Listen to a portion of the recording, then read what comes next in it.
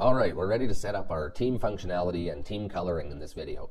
Uh, but before I get started, I'm just going to go ahead and delete these actors that we had placed in the world from our previous uh, videos. We don't need these anymore now. We're spawning our own starting units in our starting building. All right, and then what I'm going to do is open up my game mode base. And I need to uh, create a couple of variables in here. Um, we're going to create one called team number. I'll set that to an integer.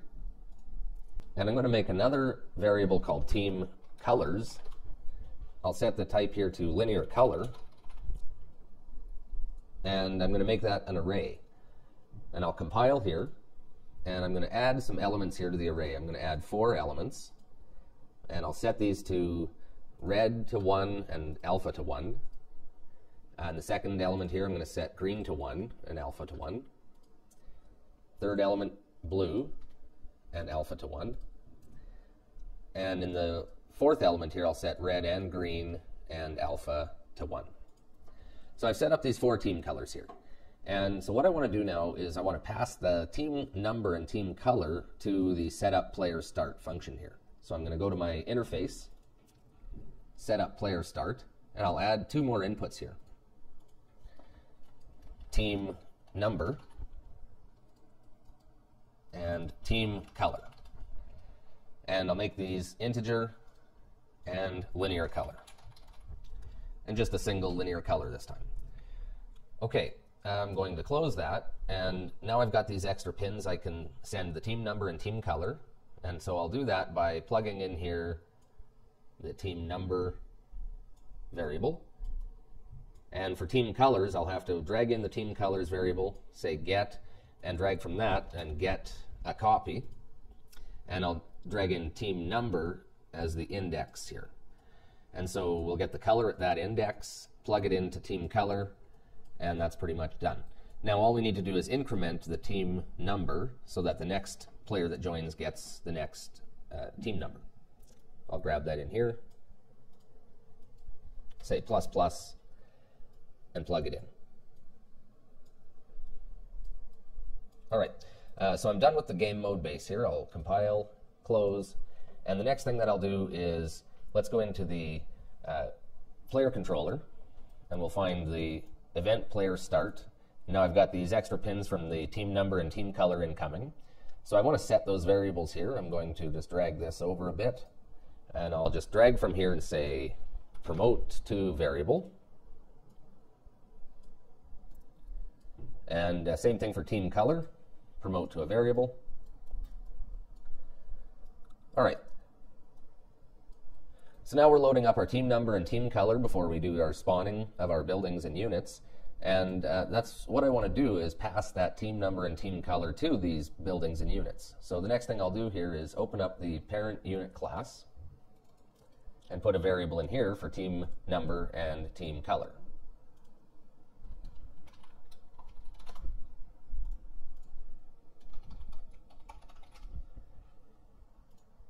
And I'll make that an integer, and I'll make the team color here a linear color.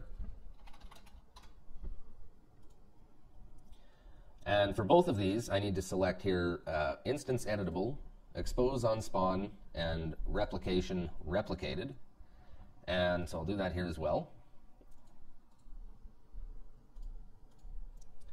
Okay, and I'm also going to just go back to the player controller here, set my team number here to replicate it as well. So the client can uh, occasionally ask the player controller uh, which team number it is, and they'll have the right information. Uh, now I'm going to open up my building parent class, and I've got to put the variables here as well. Team number and team color, and uh, integer for team number, linear color for the color. All right, uh, again here, instance editable, expose on spawn, replicated for both of those. Perfect. Okay, uh, so I'll close these for now. And what I want to do here in the player controller, I've got the spawn player loadout macro open here. And uh, on the uh, spawn node here, since I checked expose on spawn, uh, for those two variables, if I just refresh this node here by right-clicking, we can see I've added these team number and team color, and I can load these up here at this stage of spawning the actor. And that's what I want to do. I'm going to drag in here team number and team color. All right. Uh, and so I need to do the same thing here for all of these three actors as well.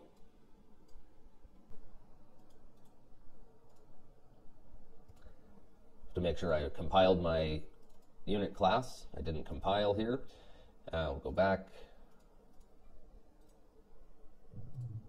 All right, so I'll just set these three units up the same way. Feed in the team number and the team color.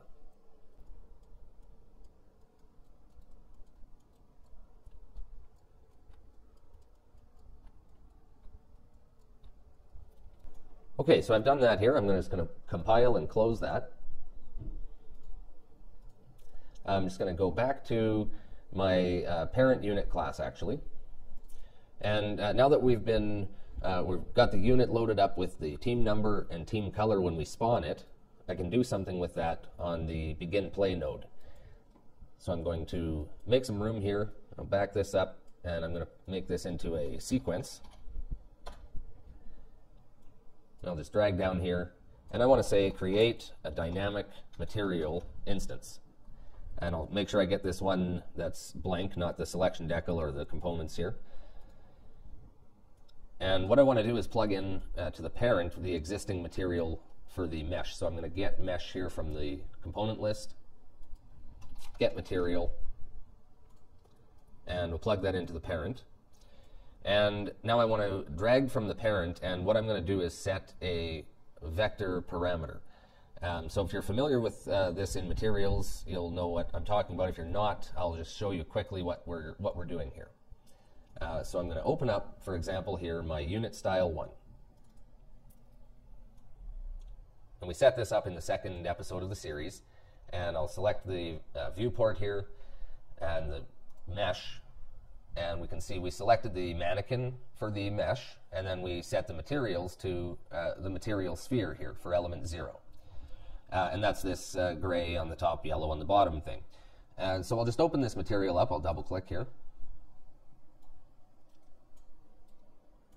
Okay, so this material works by uh, lerping a base color between 0.25 gray and this yellow color. That's how you get this effect here. So I can easily change this color, and that'll change the bottom half of this material. Uh, so uh, for a good example of uh, team coloring, uh, it'll always pretty much be done at the material level. And so what I can do in this example is I can right-click this node, convert to parameter, and I'll just name this something like team color.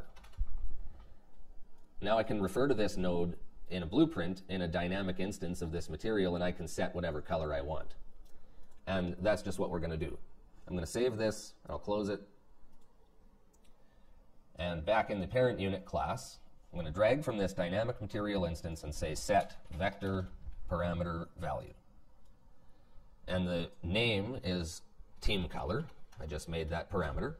And I'm going to pipe in our team color variable. All right, so then one more step is I just need to set the mesh to now use that new uh, dynamic instance. We'll say set material.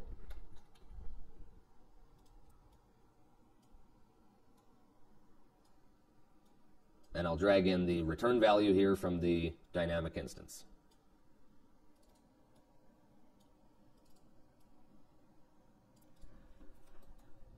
Okay, so I'll grab these nodes here. I'm going to say uh, set up team color. Maybe move this over a bit like that. All right, and uh, so I need to do the same thing for our building, and I'll take a look here at our building setup. So I'll close these.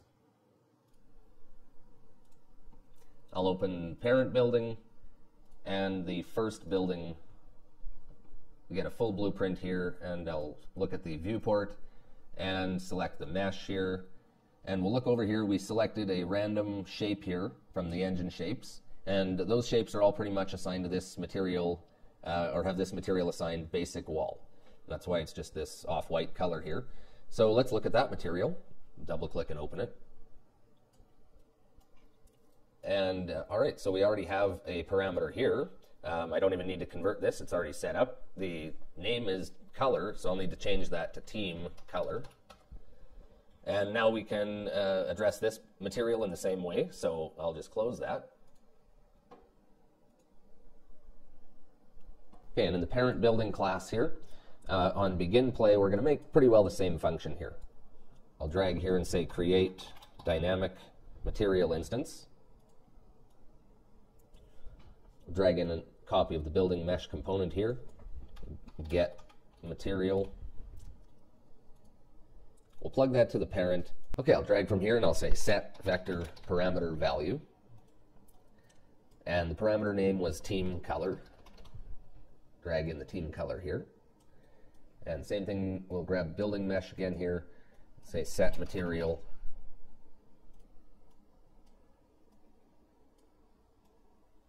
I'll drag in this return value here.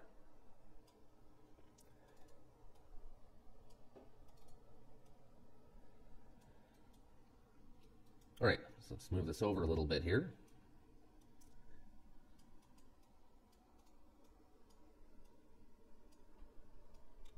And I'll grab these nodes and we'll say set up team color.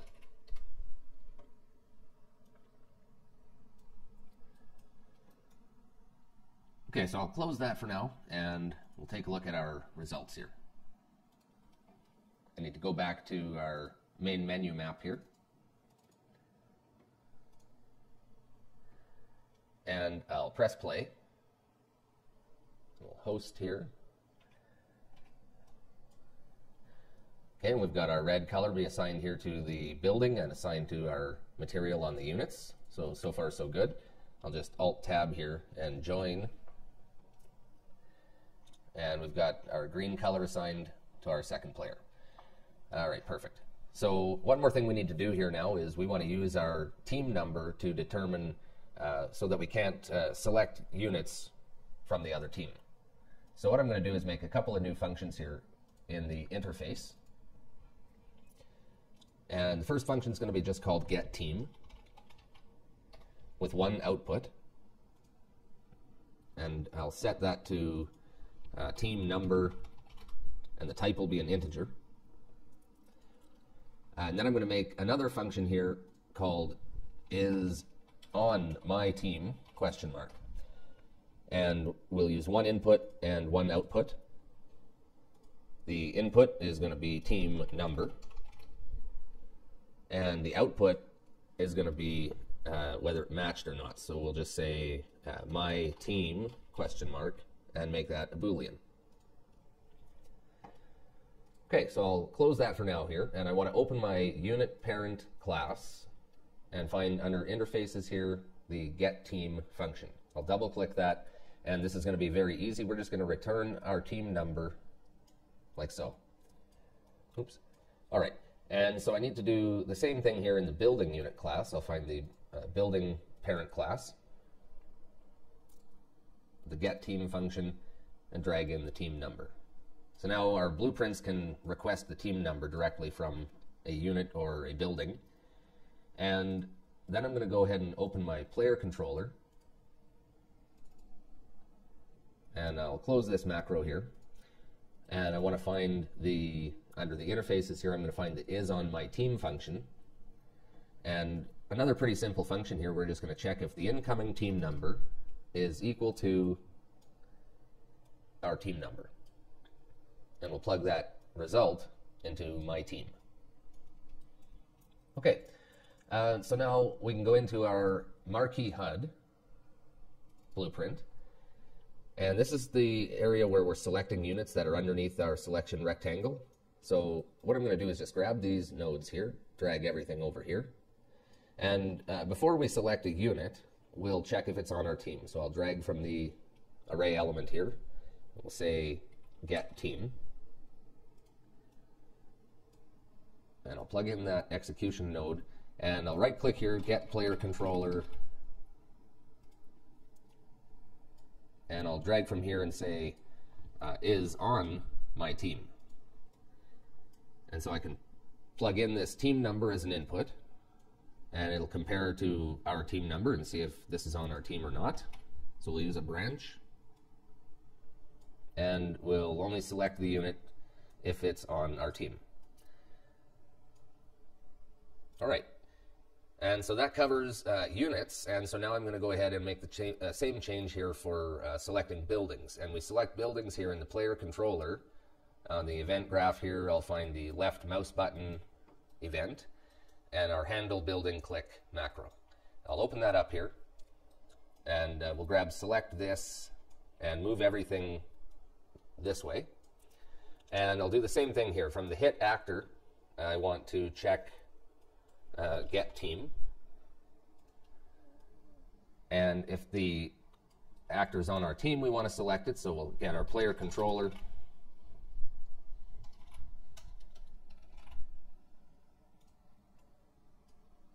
I'll say is on my team. And we'll plug in that team number and get a branch. Okay, and uh, so that should work. Let's go check it out.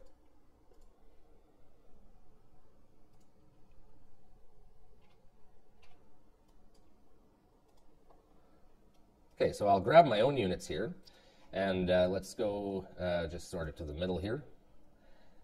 And I'll Alt-Tab here and join with the other client. And uh, let's grab these units and move to the middle. All right, and so now I can't select any enemy units. I can only select my own units. So that's properly working. And same thing here with buildings. I'll check this out here. I can't select anything here. Go back to my own building. And all right, that works. Okay, so that covers uh, team setup and team coloring. And uh, now the next thing we're going to look at is how we can start causing these units to attack each other by giving them maybe a sight radius and noticing enemies within their sight and uh, auto attacking or whatever. Okay, so thanks for watching, and we'll see you in the next video.